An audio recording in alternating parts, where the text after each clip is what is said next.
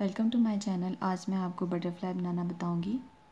इस तरह, ठीक है? इसको स्टार्ट करने के लिए सबसे पहले हमारे पास क्या करेंगे? एक ऊन की गिरा लगाएँगे, उसमें हम एट चेन बनाएँगे। Three four five six seven eight eight chain बन गई। अब हम क्या करेंगे? सबसे पहले फ़र्स्ट वन के पास आएँगे। यहाँ पे और यहाँ से ये वाले के अंदर क्रोशा गुजार के अब यहाँ से ये धागा हम बाहर निकाल लेंगे और यहाँ पे एक स्लिप स्टिच बना लेंगे। ठीक है? अब यहाँ पे हम तीन चेन बनाएँगे।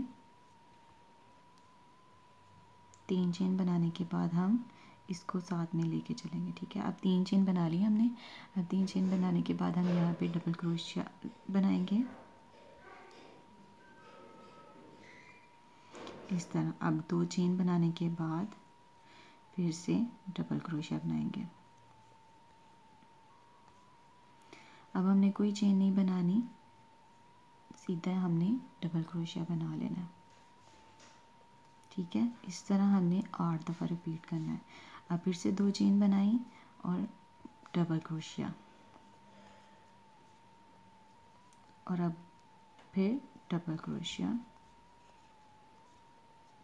फिर दो चेन बनाएँगे और इस तरह हम अपने आठ चक्कर कंप्लीट कर लेंगे।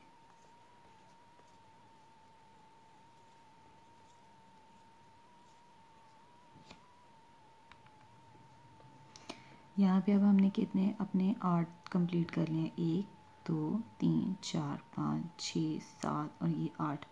आठ, अब हम क्या करेंगे? यहाँ पे फिर से दो चेन बनाने के बाद इसको इसके साथ कनेक्ट कर देंगे। यहाँ से इसके अंदर से गुजारा, यहाँ से बाहर लेके आए और यहाँ पे हमने स्लिप स्टिच बना दिया, ठीक है? ये स्लिप स्टिच बनाने के बाद हमारा ये सर्कल कंप्लीट हो गया। यहाँ पे हम हम अपने धागे को कट कर देंगे।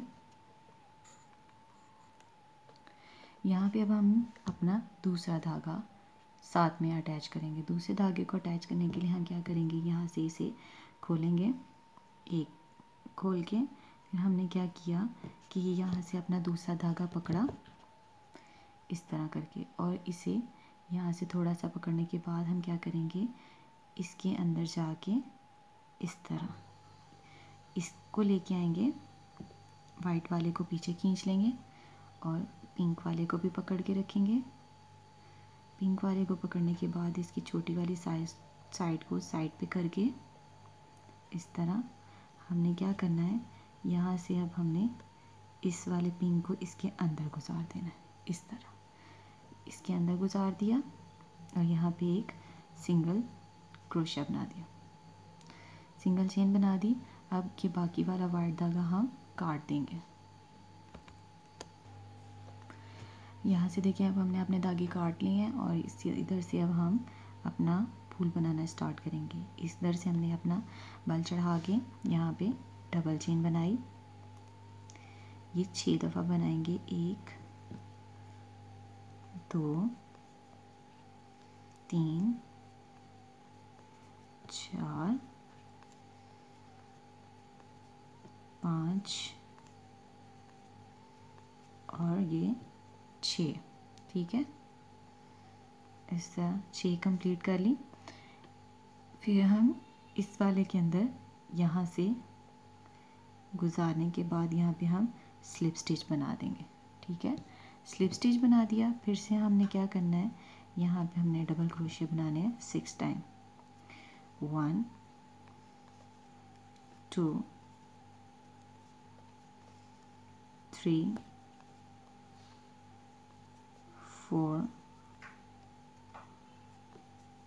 five six six complete कर लिए और यहाँ पे इसके अंदर फिर से स्लिप स्टिच बना देंगे। इस तरह। फिर नेक्स्ट हमने फिर से सिक्स टाइम डबल क्रोशिया बनाना है। One two three four five six six time हो गया। फिर से हमने यहाँ पे इसके अंदर से इस तरह गुजार के यहाँ से धागा निकाल के यहाँ पे स्लिप स्टिच बना देना, ठीक है? और ये सारा चक्कर हमने कंप्लीट कर लेना। ये देखिए, अब हमारे ये सारी की सारी कंप्लीट हो चुका है। एक फ्लावर्स टाइप बन गया है ठीक है? अब हमने यहाँ पे इसे बंद करना है। जब हम बंद करेंगे, फिर से यहाँ पे इसके इस वाले कॉर्नर में जाके यहाँ पे स्लिप स्टिच बनाएँगे। मगर अब हमने यहाँ पे दूसरा कलर ऐड करना है तो यहाँ पे अब हम स्लिप स्टिच नहीं बनाएँगे, इसे ओपन कर देंगे। और यहाँ पे इसको इस तरह पकड़ के, इसमें जैसे पहले पिंक वाला धागा ऐड किया था, इसमें भी वैसे ही हम ऐड करेंगे। इसको वाइट वाले को यहाँ से हम पकड़ेंगे, इस तरह। ये पकड़ लिया अब हमने, इधर से दोनों धागों को सेट कर लेना है। ठीक है।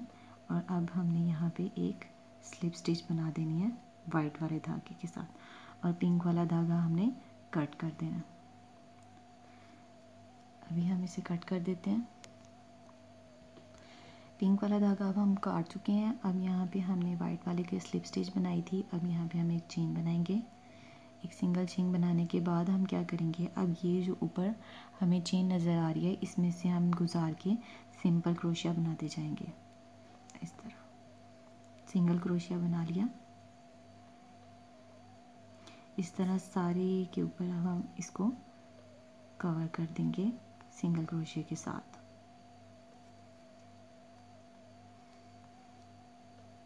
यहाँ पे देखिए ये नीचे है तो यहाँ से हम नीचे गुजार के इस तरह बनाया और फिर से ये इसके अंदर गुजारा।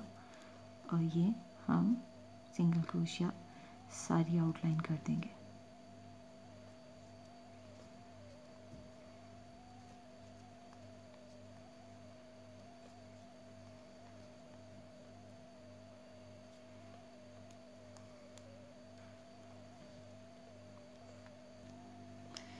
ये देखिए, अब हमने सारी आउटलाइन कर ली है। अब यहाँ पे हम इसको कनेक्ट करेंगे इसके साथ। यहाँ पे हमने इसको गुजारा।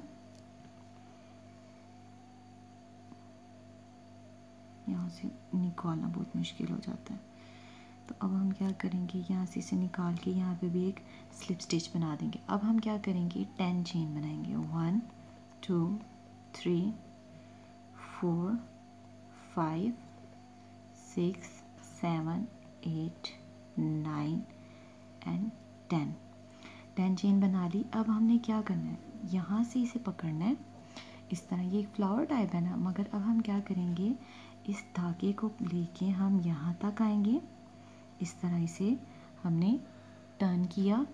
यहाँ से अब हम इसे कवर करते हुए सारी चेन को इसके ऊपर राउंड घुमा के इस तरह इसके एंड तक ले आएँगे। ये देखें। इसके एंड तक आ गए हम। ये ये देखें। इसके एंड एंड पे आके अब हम क्या करेंगे इसे यहाँ पे इसके साथ जोड़ देंगे। दोनों दोनों की एक एक चेन को लेके इसमें से हम धागा निकाल के इस तरह धागा निकालेंगे और यहाँ पे एक स्लिप स्टिच बना देंगे। ठीक है? धागा बन गया। अब यहाँ से इसे निकाल के हम काट देंगे।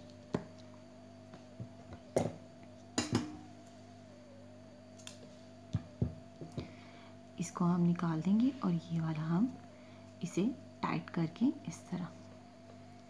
ये देखें।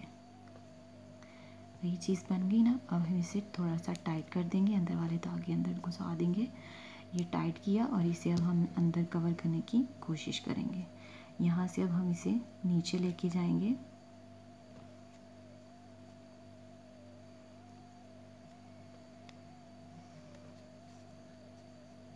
इसी तरीके अब हमने इसको अंदर छुपा देना है।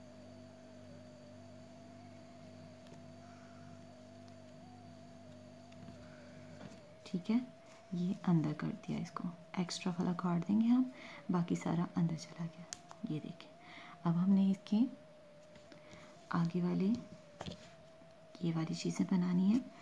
हम क्या करेंगे? इतना सा धागा लेके दोनों साइडों पे कीरा लगा देंगे और इसके अंदर डाल देंगे। ये देखें, इतना सा धागा, दो इंच का धागा लेके अब हमने इसके दोनों साइडों पे घेरा लगा दिया। अब इसको इसके अंदर गुजारेंगे हम। यहाँ से ये वाली चेन के अंदर हम क्रोशिया गुजार के इसको इसके अंदर ले जाएँगे, इस तरह। और इसको यहाँ पे इस तरह सेट कर देंगे। ये देखिए, हमारी एक प्यारी सी बटरफ्लाई रेडी है, ठीक है? इसको आप थोड़ा सा, दोनों साइडों पे इस तरह कर, ये दोनों साइड पे। आप इससे बच्चों की शर्ट पे भी लगा सकते हैं, कैप पे भी लगा सकते हैं, बुक्स, कॉपी वगैरह पे भी अपनी डेकोरेट करने के लिए लगा सकते हैं, ठीक है? और वॉल पे भी आजकल लोग लगाते हैं, ठीक है? आप इसे अच्छी तरह से हर जगह पे लगा सकते हैं और ये वॉशेबल भी है। अगर गंदी हो जाए तो उतार के बंदा धो भी लेता है। ओके थैंक यू अगर आपको मेरी वीडियो अच्छी लगे तो इसे लाइक करें सब्सक्राइब करें और मेरे चैनल को सब्सक्राइब करना मत भूलिए। और वीडियो को शेयर करें। Thank you.